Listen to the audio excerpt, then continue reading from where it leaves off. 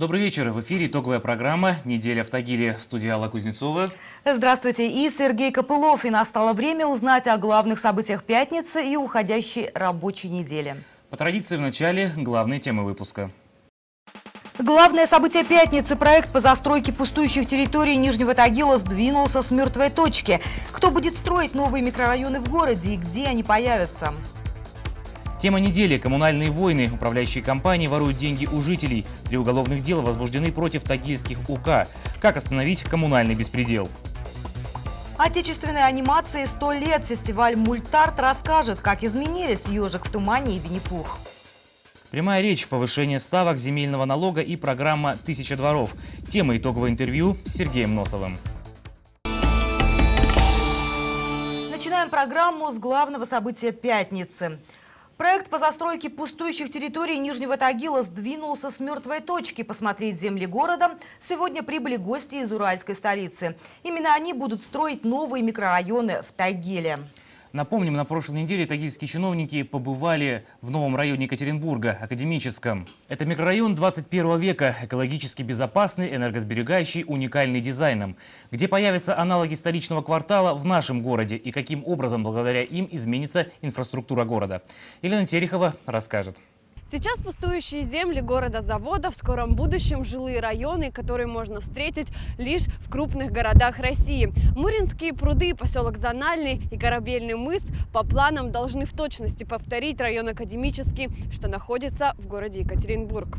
Многоэтажные дома, построенные по высоким технологиям, школы, больницы, все виды транспортных сетей и все это на территории района. В уральской столице еще недостроенный академический уже окрестили городом в городе. По своим масштабам он смог бы гостеприимно принять и обеспечить практически весь Нижний Тагил жильем. Академический раскинется на 13 миллионов квадратных метров, где будут жить 325 тысяч екатеринбуржцев. И как раз вот примыкает к ней, вот если пойдем влево, площадка Примерить район Екатеринбурга на земли Тагила приехала компания, что занимается строительством самого масштабного проекта в России. Прибыли по приглашению руководства области и лично по просьбе Сергея Носова. Экскурсию администрация города гостям устроила сразу по трем точкам. Муринские пруды, поселок Зональный и Корабельный мыс. Именно здесь, считает главный архитектор города, и должны раскинуться дети академического. Строители, кажется, не против. Мне кажется, что в Тагиле должно быть начато масштабное строительство жилья. Нового уровня, не очень дорогого, но комфортного для жизни. Самое главное, чтобы вот у людей в головах, в первую очередь, у актива города, актива города, вот созрел такое мнение. Мы должны жить лучше. Развитие этих территорий выбрали не случайно. Именно они, по мнению архитектора, должны соединить отсеченные промышленными точками районы. Благодаря заселению пустующих территорий соединятся Вагонка и Гальянка и больше не будут считаться окраинами. Но есть и проблемы. Корабельный мыс совсем не освоен, не снабжен ни коммуникациями, ни сетями. Но тем не менее на нем мэр ставит акцент. Этот район именно с точки зрения второй берег для он не чистый получается, один из самых чистых, и не в этом плане, если хотите, не, зага, не загажен, но Вагонки очень интересен. С точки зрения мост, это уже отдельный разговор, понятно с кем, но тем более старатель и так далее. В следующий раз, допустим, года через два, там, три, если можно было этот вопрос закончить уже окончательно. Помимо корабельного мыса, есть проблемы и с другими землями. Площадка Александровская. Значит, страдает отсутствием соцкультуры. Причем страдает настолько, что наверное, впору кричать караул. Площадки, которые наиболее освоены, это вот южная часть, так называемый второй и третий микрорайоны Муринских прудов. Второй и третий, это в сумме примерно 75 гектаров. Но проблемы подрядчиков не пугают. Уже в ближайшем будущем начнется работа над строительством районов. Первым делом Сергей Носов пообещал собрать всю необходимую информацию к середине декабря в обмен на цену, которую в результате должны просчитать подрядчики к старому Новому году. Директор компании поделился, от идеи до заселения пройдет около шести лет. И несмотря на столичный уровень будущего жилья, обещает, цены кусаться не будут. Елена Терехова, Александр Штраух, Анатолий Тютин. Специально для программы «Неделя в Тагиле». Водитель, ты же родитель. С такими лозунгами сегодня вышли на улицы города ученики школ Ленинского района. Это были юные инспекторы отрядов дорожного движения. Мини-пикеты школьников приурочены ко Всемирному дню памяти жертв ДТП. К чему призывали юные пешеходы автомобилистов? Анна Кизилова узнала. Не гоните, водители, вы же тоже родители.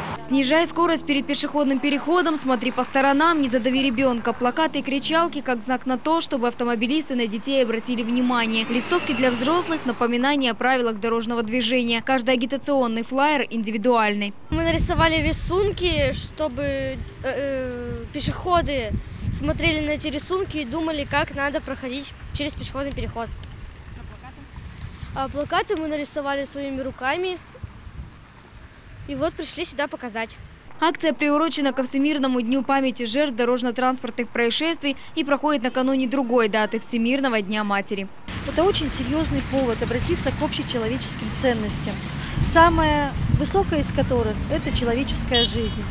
Дети не должны оставаться без родителей а матери не должны оплакивать детей, погибших в дорожно-транспортных происшествиях. Подобные мини-пикеты прошли сегодня в центральной части города на улицах Космонавтов, Фрунзе, Газетной, проспектах Ленина и Мира, Чернесточинском шоссе. Анна Кизилова, Игорь Харьков, Сергей Иванов. Специально для программы «Неделя в Тагиле». И в продолжение темы в России отменили доверенности на право управления автомобилями. А российское правительство сделало необязательным предъявление доверенности в качестве документа, подтверждающего право водителя на управление транспортным средством. Российская газета опубликовала постановление Кабмина, которое вносит поправки в правила дорожного движения. Поправки вступят в силу уже с завтрашнего дня. Постановление открывает автомобилистам возможность для свободной передачи руля. Вскоре для подтверждения своего права на автомобиль водитель должен будет иметь при себе права, свидетельство о регистрации автомобиля и полис ОСАГО темам программы. Быть матерью не так просто, а матерью ребенка с серьезными проблемами со здоровьем тем более. Им ежедневно приходится бороться с недугом своих детей. И сегодня в благодарность малыши поздравили мам с наступающим праздником – Днем матери. В 16-й коррекционной школе побывала наша съемочная группа. Как поздравляли там и как готовиться к празднику в городе. Далее. Этих женщин поистине можно назвать матерями-героинями. Ежедневно они борются с недугом, не своим, детей. У Ларисы 13-летняя дочка Алена. При рождении ей поставили страшный диагноз – ДЦП. Эта новость, конечно, потрясла, но девушка не растерялась. Ведь вместе рассказывает, никакой недуг не страшен. Каждому человеку дано свое. Если мне это дано, значит, это моя судьба. И мы живем и радуемся. То, что есть, мы воспринимаем это гордостью.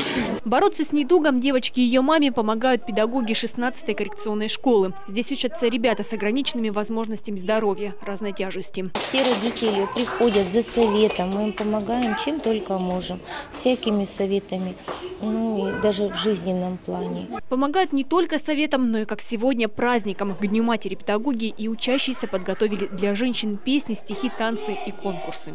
Что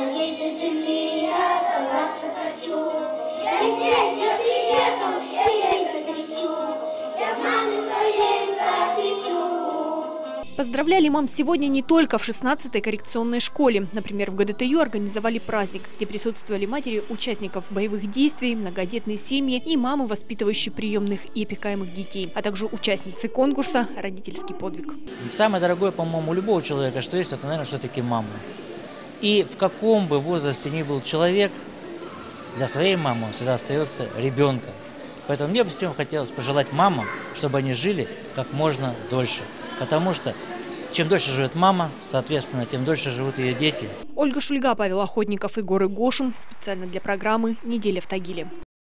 Голоса мировым звездам на зависть. Кузница певческих кадров Тагила повзрослела еще на один год. Эстрадное отделение училища искусств празднует юбилей. Пять лет. Голосами юных сирен насладились и наши корреспонденты.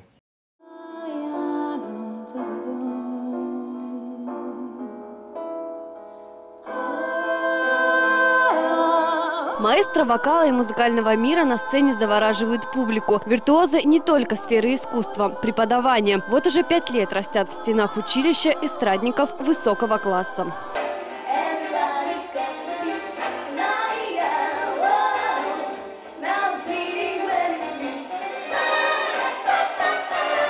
Самое яркое отделение во всем училище. Мы всегда живем, у нас всегда все закручено, очень яркая жизнь нету такого дня, чтобы мы сидели просто на парах и ничем не занимались. Свою яркость не утратили и сегодня. В общий праздник все умения, которые приобрели с годами обучения, испытывают мюзиклом. Подключили к так называемому экзамену и студентов других отделений.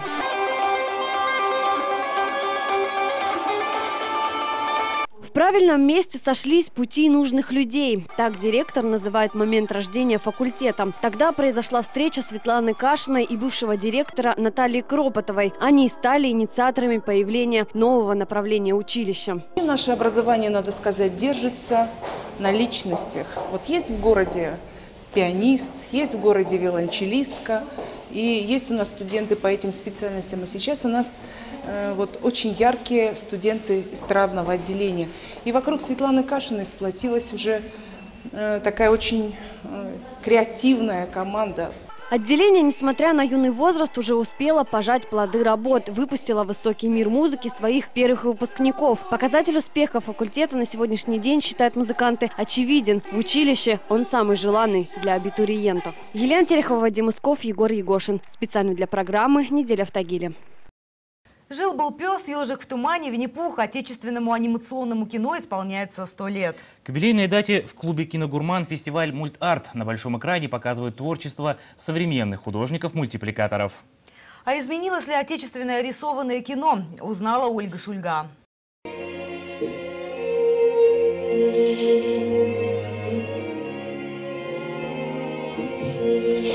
то только что ожившие картинки, нарисованы карандашом. На экране отечественные мультфильмы 21 века. Психологически, с глубоким смыслом. Посмотреть их сегодня пришли не дети. В зале тагильские киноманы собрались, чтобы оценить современный кинематограф и сравнить с зарубежным. Я вот как мама, у меня у самой ребенок, я думаю, что наши советские мультфильмы, если вспоминать свое детство, они как-то все-таки более добрее.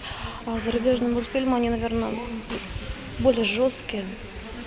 Я думаю, что более жесткие, даже современные зарубежные мультики.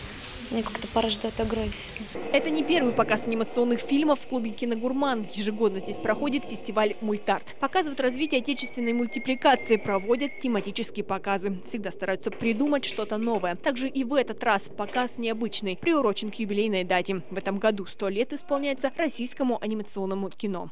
Мы решили познакомить наших э, любимых зрителей с тем, что же происходит в российской анимации, к чему мы пришли, в какой манере снимаются фильмы, на какую тему снимаются фильмы.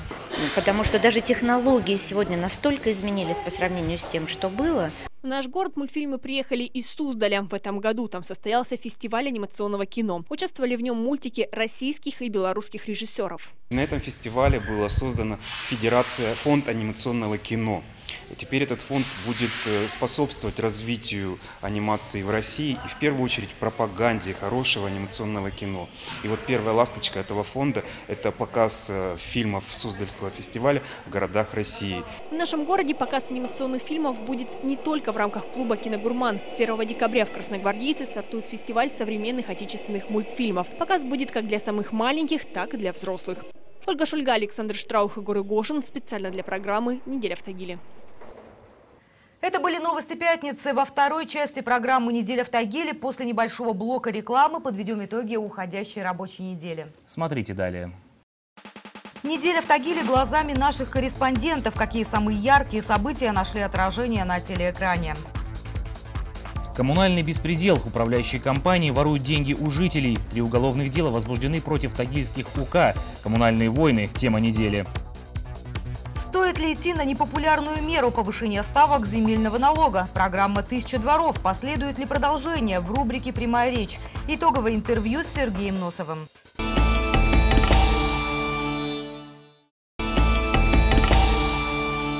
В эфире программа «Неделя в Тагиле» в студии Алла Кузнецова. И Сергей Копылов. На какие еще события была богата уходящая рабочая неделя? Напомним прямо сейчас обзор главных тем недели. Благотворительная акция «100 рублей спасут жизнь» вышла за рамки соцсетей и состоялась в Нижнетагильском молодежном театре. Участницы клуба рукоделия устроили фойе выставку-ярмарку своих изделий. Все собранные средства пошли на лечение тяжелобольных детей. Границы народов стирают дети. В городском дворце молодежи прошел фестиваль национальных культур. Главные участники – юные тагильчане, представители разных диаспор. С детства учатся жить в мире. Судьбу бывшего клуба «Наутилус» решали во вторник тагильские чиновники. Заброшенное здание постепенно разрушается. В течение двух недель для помещения либо подберут арендатора, либо решат вопрос о дальнейшем его использовании. 112. Экстренные сообщения теперь принимает еще один телефонный номер в городе. Сообщить о пожаре, коммунальной аварии или любом другом ЧС можно, набрав 112. Телефон единой службы спасения во вторник официально заработал в Тагиле. Произведения великих поэтов в оригинале. В Центральной городской библиотеке в течение трех дней шел конкурс чтецов на иностранных языках. Порядка 270 школьников с 5 по 11 класс блеснули знанием творчества иностранных авторов. Убийство по неосторожности. Молодая тагильчанка лишила жизни своего двухгодовалого сына. Женщина пыталась успокоить ребенка, встряхнула. Мальчик ударился об угол дивана. Спасти его не удалось. Возбуждено уголовное дело. Право на жизнь в семье, не отказываться от воспитания ребенка с синдромом Дауна призывают медики и общественники. Семинар для родителей солнечных малышей прошел в пренатальном центре в среду. Весь город на ноги подняли сбежавшие из дома подростки. Четверо кадетов не вернулись домой после уроков. Их искали всю ночь. В четверг дети объявились сами. Инспекторы по делам несовершеннолетних разбираются в истории побега.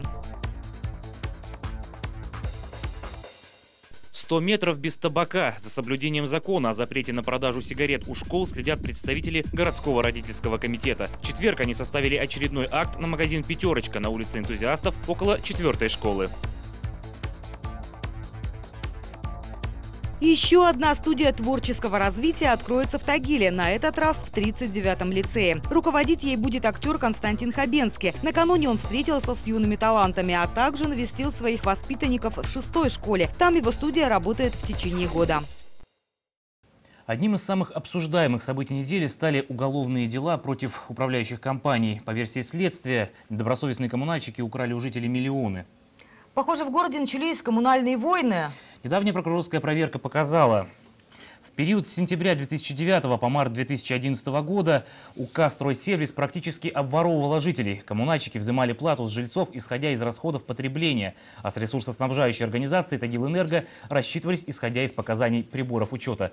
В результате этого жители порядка 40 домов переплатили недобросовестной управляющей компании за услуги по предоставлению горячего водоснабжения и тепловой энергии более 2 миллионов рублей. Возбуждено уголовное дело. И стоит отметить, это не единственное уголовное дело против управляющей компании в нашем городе.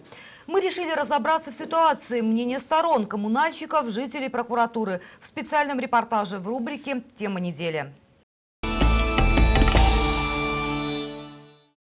Жалобы в различные инстанции на управляющую компанию «Стройсервис» начали поступать в начале 2011-го. Жители домов, обслуживаемых этой организацией, обнаружили в своих платежках новые ставки платы за жилищные услуги. Роспотребнадзор по поручению прокуратуры организовал проверку. Нарушения обнаружились сразу же. Были выявлены суммы ну, общая, общая сумма была, к примеру, да, обсчет потребителей за отопление горячего водоснабжения за два года было в размере 3 миллиона 799 тысяч по холодной воде, холодного водоснабжения и водоотведения 213 э, тысяч.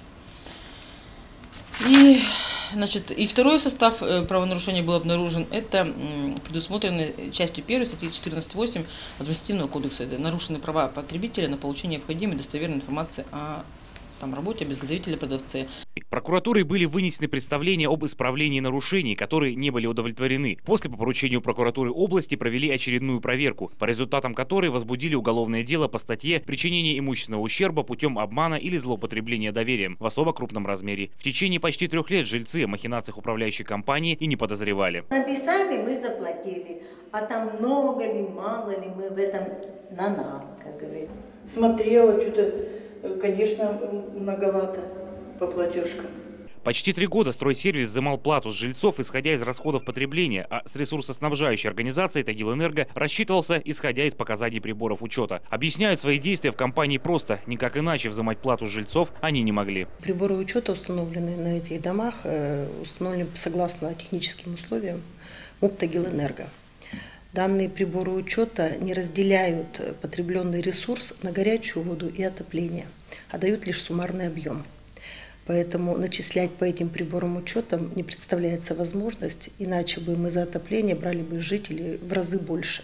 Теперь, когда нехорошая история получила огласку, руководство стройсервиса обязуется возвратить жителям все незаконно взятое, но только после вынесения вердикта суда. Денежные средства, которые лежат э, на расчетных счетах начисляющей организации, не потрачены, они никуда не использованы и лежат до сих пор на расчетных счетах.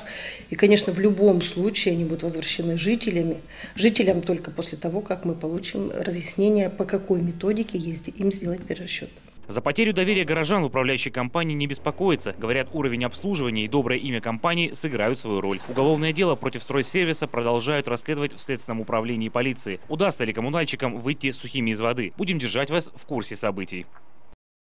Да, действительно, коммунальные проблемы – это насущная тема. Я думаю, что огласке придается только малая часть вот подобных дел. Да? И Да. видим мы только верхушку айсберга. Действительно, двойные платежки, ветхое жилье, да и в целом ворох проблем. Часто ли приходится сталкиваться с какими-либо коммунальными проблемами и именно с управляющими компаниями, мы решили спросить у тагильчан. были с управляющей компанией очень даже конфликтные ситуации, которые ну, практически ничего не делал для ремонта общего домоума, значит, и, ну, вообще какого-либо ремонта. Ну, мы вот сейчас перешли в другую управляющую компанию. Так у нас э, компания была теплотехник. Вот, ну, особой работы от них мы не видели. Вроде собираемся менять компанию, так как э, практически ничего не делается. Дом переходит из одной управляющей компании в другую. И начинаются приходить две платежки, и каждый требует там ну, определенных обязанностей от управляющей компании. Естественно, начинаются споры. Вот на Гальянке такой дом есть замечательный. Ну, не буду называть какой. До сих пор эти споры идут уже года два. Были двойные квитанции, как и везде и всюду. Оплата очень высокая, да. Такое ощущение, что мы в подъездах, в подвалах живем, а не в квартирах.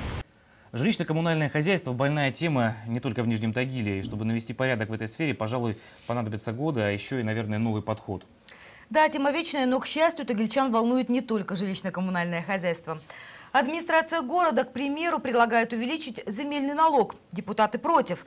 Губернатор области требует ликвидировать дефицит мест в детских садах к 2016 году. Как с этим справиться на местах муниципалитеты, пока непонятно. А вот об этом лучше спросить у главы города Сергея Носова. Я уступаю ему место в студии. Рубрика «Прямая речь» буквально через минуту. Не переключайтесь.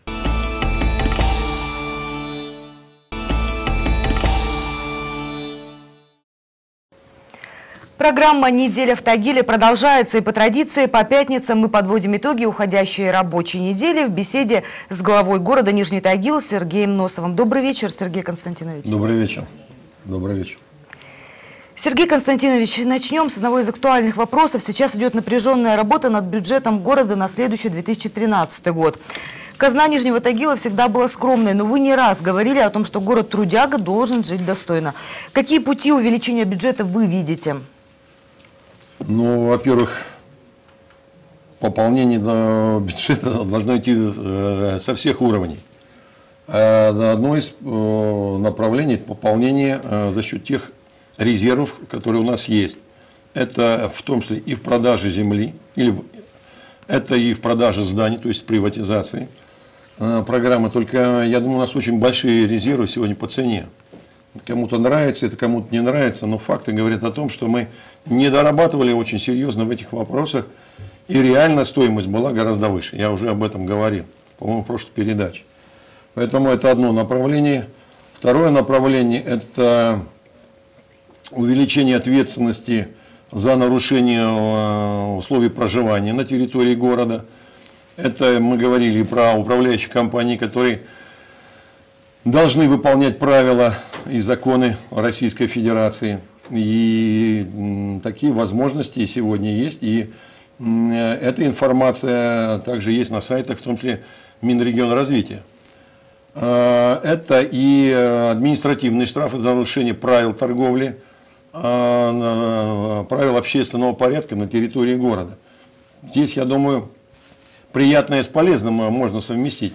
И на, еще раз повторяю, и наведение порядка, и э, пополнение городской казны. Вот, например, только что мне э, докладывали утром э, на аппаратной, что ловят, ловят газели или ловят машины которые несанкционированно сбрасывают мусор. Ну, а штрафовать их нормально нельзя сегодня. И вот, это, вот этот парадокс, в том числе беспомощность зачастую в вопросах пополнения бюджета, она, на мой взгляд, недопустима, особенно перед э, теми проблемами, которые стоят э, у Нижнего Тагила в сферах улучшения качества жизни. Угу. Есть еще то есть, определенный спектр налоговых отчислений. Это тоже значит, источник пополнения бюджета. Угу. То есть все вот эти способы уже собираетесь реализовать вот в следующем году или что-то на перспективу? Ну, здесь, здесь следующее значит, надо понимать. Значит, э, по, эм, так устроен налоговый кодекс Российской Федерации, что порядок мы, э, интересен нам здесь, ну, опять же, нарушение за свалки мусора несанкционированные, а штрафы уходят э, в регион или, или федерацию. Полный парадокс. Значит, э, мы намерение, уже я э, в устных беседах, эта инициатива была поддержана, но вот мы обговорим, наверное, буквально на следующей неделе, с какой инициативой мы все-таки э, уже или законодательной, или просто обращением, значит, официальным обращением будем выходить, для того, чтобы увидеть механизмы поступления этих средств на наши счета, чтобы именно этот сбор или эти сборы работали в том числе на улучшение обстановки в городе. Так что будем еще работать. На заседаниях комиссии Думы шел вопрос о повышении ставок земельного налога. И причем депутаты предложение администрации города о повышении не поддержали. Вы выслушали их аргументы, которые они привели, да, против. Согласны ли с этим? Ну, знаете, значит, э, с этим вопросом нужно разбираться. Значит, и дело не в том, что поддержал кто-то что-то или не поддержал. Я считаю, это наше общее дело. Значит, э, я поздравлял э, с 225-летием Думу Екатеринбургскую неделю назад. И мне очень понравилось выступление Чернецкого Аркадия Михайловича, который один созыв значит, вместе с ними, даже одно время руководил, одновременно являясь главой города. Что это ответственность перед городом иногда поддержать не самые популярные меры, когда городу э, грозит, там, финанс, грозят финансовые проблемы.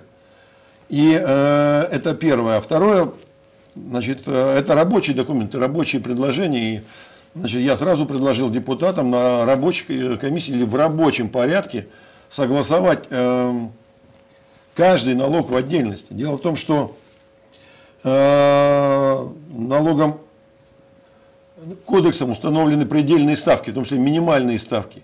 И в Тагиле э, эти ставки ниже, раза в три, а то и в 10 раз э, ниже, чем установлены налоговым кодексом Российской Федерации. И объяснять в этом случае, это могут быть не самые большие деньги, но объяснять в этом случае, почему Тагилу нужно помогать, помогать значит, э, субсидиями, да, он, э, потому что Тагил не только рабочий город – но Тагил полностью исчерпал или, э, те возможности, предусмотренные российским законодательством. Это тоже аргументы очень серьезные. И им надо пользоваться. Потому что его используют против нас сегодня при э, решении вопросов о наполнении городского бюджета. Ну, этот вопрос будет вынесен на заседание Думы, да, ну, еще? Ну, То есть окончательно... я, ну, здесь сразу могу сказать, понимаете, когда говорят про общественные бани, значит, я с этим согласен. у нас реально общественных бань 5. А вот бань, работающих 24 часа в сутки, 25. Значит, мы э, о каких банях идет речь, надо, надо на что же делить, и надо с этим разбираться, или, во всяком случае, э, менять название. Досуговые центры, там, э, спа-салоны, я не знаю, э, как это может быть, как может по-разному по называться. Но нужно это хорошо разделять. В вопросах учреждений здравоохранения, понимаете, у нас практически все здравоохранение передано в область. И налоги мы поднимаем для регионального бюджета. Это как раз то поступление, которое может и должно быть из области. Но под это определение попадают и отдельные спа-салоны частные. Я согласен с этим. Зачастую в этих, я смотрел, в этих салонах работают один-два человека. Это тоже наши тагильчане. Угу. Но надо не забывать тот объем, который должен прийти извне. То есть надо подходить не с точки зрения частной лавочки, как говорится, а с точки зрения все-таки общей пользы для бюджета. Вот это важно. Во время прошлого эфира вы говорили о проблемах, которые есть в сельских населенных пунктах. Вы эти проблемы сами видели во время объезда территории. Затем в мэрии прошло большое совещание по этому вопросу. Селу нужны деньги, но насколько они сейчас эффективно расходуются? Ну, туда идут не самые большие деньги, поэтому там очень сложно даже эффективно э, расценивать. В общем, село выживает. И э, мы, тагильчане, значит, э, не можем это не видеть, потому что так или иначе с этими сельскими населенными пунктами связанный наш досуг и наш отдых. И зимой, и летом. И я думаю, они у всех на глазах, и они поэтому нам должны понятны быть и близки. Это будущее, в том числе, если хотите, э, раз, развитие Тагила, без этого уже Тагил обойтись не сможет. И э, мы определили, значит, э, пять, наверное, основных вопросов по каждому пункту, населенному пункту, который существует. И за их выполнением, за их реализацией будем следить. Это требует не самых больших денег, но эти деньги необходимо выделить. Я думаю, проще их выделить, и, значит, э, и они помогут решить большие, много проблем, чем значит, э, там, экономить копейки здесь значит, э, и иметь серьезные проблемы, в том числе в личном плане у тагильчан. Угу. Ну и к другой теме. Губернатор Свердловской области Евгений Куйвышев поставил для муниципалитетов области задачу ликвидировать э, дефицит мест в детских садах до 2016 года. По этому поводу прошла видеоконференция. Какие пути решения вы видите в Нижнем Тагиле? Вот э, решение этой проблемы. Вы знаете, значит, э, пути решения, наверное, есть, вроде непонятны. Там, сейчас активно пропагандируются садики на 270 мест. Угу. Значит, но это, может быть, будет кому-то интересно. Тагил, который по площади сегодня один из самых больших городов России, по площади, за счет присоединенных территорий, не может найти место для строительства таких крупных садиков. Мы с трудом нашли одно место э, сегодня в городе. Все, что было когда-то запроектировано и заложено в городе при строительстве Гальяна-Горбуновского массива, к примеру, сегодня занято или стоянками, или гаражами. И это, значит, на, наша проблема, наш парадокс. Значит, опять же, при наличии земли мы фактически с большим трудом можем разместить объекты. А нам таких садников, чтобы решить проблему, нужно 10 штук. У нас очередь там э, практически 6 э, тысяч человек, из них 3 э, тысячи уже вступили в вот этот период, когда могут посещать дошкольные учреждения или садики. Разместить проблему сегодня – Э, я могу добавить, мы сейчас смотрим по строительству жилья и так далее э, и тому подобное. А многоэтажное строительство размещать практически нигде не осталось. Частное э, строительство, вот сегодня тоже разбирали вопрос по газификации. Да, мы планируем года за три закончить газификацию в городе Нижний Тагил. Но э, всплывает другая проблема. Изношенные электросети или их отсутствие сетей на частный сектор. И любой сбой в работе приводит к остановке котла, работающего на газу. Приводит к тому, что люди рискуют э, ну, э, померзнуть mm-hmm. в домах. И э, нам нужно будет просто, и, э, буквально сегодня ночью еще продолжали принимать там аварийные меры по старателю и по ключикам. Это тоже такая вот проблема, чем структурная, инфраструктурная mm-hmm. проблема, с которой город сталкивается и столкнется в будущем но ее надо как бы понимать, весь ее масштаб и объем. И тогда а, будет ясно, как ее решать. Ну, то есть получается, что на сегодняшний день основная проблема – это отсутствие земельных участков, да, под строительство Значит, Мы еще раз, э, по ту программу, которую нам ставила область или задачу, угу. и то, что обещала область, мы нашли на данный момент э, варианты. Но в целом, э, даже просто масштаб, нам нужно 10 таких садиков, а разместить их пока значит, э, даже не представляется возможным. Почему? Потому что такие большие садики раньше в городе Нижнем Тагиле не практиковались, не существовали.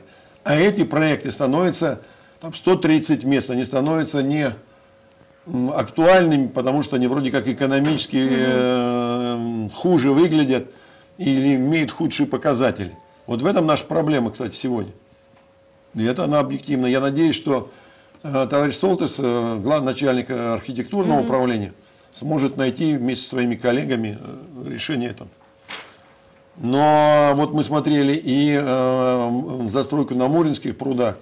Сейчас Александровский будем смотреть. Вот буквально сейчас состоится совещание с э, руководством э, академи, э, академического района э, застройки в Екатеринбурге. Детские садики приоритет. У нас даже больше в них потребность, чем в школах сегодня. Это, это факт. Угу. И следующий вопрос, он волнует многих тагильчан, и к нам в редакцию поступают звонки. Это программа «Тысяча дворов». С этой программой, честно говоря, Нижний Тагил прославился в кавычках на всю область. Вы планируете продолжать эту программу в следующем году? Ну, тысячи дворов, 10 тысяч дворов, значит, или э, такая программа Тагилу архи нужна. Угу. К сожалению, она э, на следующий год не планируется в целом по области. Значит, появляются другие программы, другие красивые названия, но комплексное благоустройство э, дворовых территорий, значит, э, приведение жилого фонда в порядок, и я бы сказал, ремонт жилого фонда. Не, это не аварийного, а просто ремонт жилого фонда, который сегодня, сегодня не могут себе позволить ни жители, ни управляющие компании. Значит, э, по, э, внутри э, дворовые проезды, это нужно обязательно делать. И тысяча дворов программа была на область. Угу. Так вот она тысяча дворов должна быть на один Нижний Тагил по объемам. И мы, конечно, будем э, ставить вопрос буквально в понедельник, а что делать, потому что, в принципе, программа закончилась, забудьте, Тагил точно не устраивает. Будем искать средства. Угу. То есть ждете средства из области в рамках софинансирования? Но, э, и в рамках софинансирования, и будем сами, значит, э, изыскивать средства. Значит, есть идея там все-таки как механизма реализации э, системы финансирования угу. городских программ. Сейчас э, во всех городах, крупных городах создаются э, компании или корпорации стратегического развития. Значит, я думаю, такая нужна и в Нижнем Тагиле. То, значит, на Салду работает, а на Нижний Тагил такая схема финансирования не работает. Я думаю, это наши резервы в том числе. Мы будем искать. Но Понимаете, у меня сейчас есть желание э, деньги в кулак собрать. Потому что кто что обещает, и кто когда э, реально сделает, жизнь покажет. А, дело в том, что пока не будет принят областной бюджет, а реальные значит, э, программы, реальное софинансирование области, говорить сложно, пока обещания. Потом, значит, в первом квартале э, э, ожидаются дополнительные трансферты – каким реальным маневром э, средств мы сможем обладать, еще раз повторю, пока сказать сложно. Поэтому пока собираем э, силы в кулак для того, чтобы определить, где то самое важное направление, угу. э, чтобы вкладывать э, средства. Тысячу дворов, тысячу дворов, значит, э, дороги, значит, дороги. Ну, наверное, вот эти самые важные направления будут определены на выездном заседании правительства Свердловской области, которое пройдет на следующей неделе в Нижнем Тагиле. С какими предложениями? Во всяком мы о них будем говорить. Угу. А будет ли определено финансирование? И еще раз, зависит от тех источников э, э, финансирования, которые будут также э, или должны будут также быть определены. Пока этого нету, это все пока, опять же, обещание. Ну, угу. Мы верим.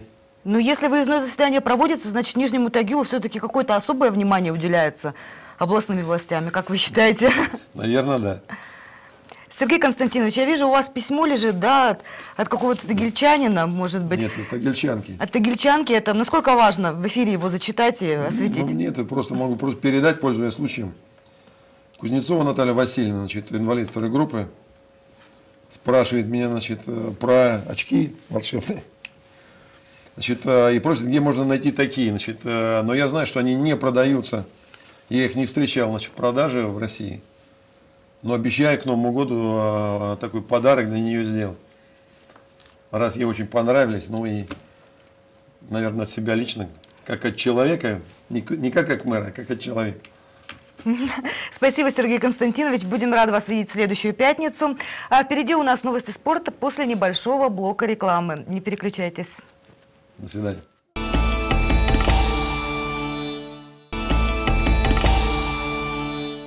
Тагильские встречи ставят очередной рекорд. В Нижнетагильском металлург-форуме несколько часов назад завершился традиционный 34-й по счету региональный турнир по художественной гимнастике «Тагильские встречи». В этом году в Нижний Тагил съехались более 350 спортсменок из всех спортивных школ не только Свердловской области, но и Новосибирска, Снежинска и Перми. Как рассказали нам организаторы, наш город на соревнованиях представляли три школы художественной гимнастики, почти треть от общего количества участников. В оргкомитете надеется, что заданная планка по числу приехавших спортсменов будет ориентиром на следующий год, когда лучшие художественные гимнастки соберутся на тагильские встречи. О том, какой целью досталась победа девочкам с лентами, булавами и обручами, узнаете в понедельник в это же время.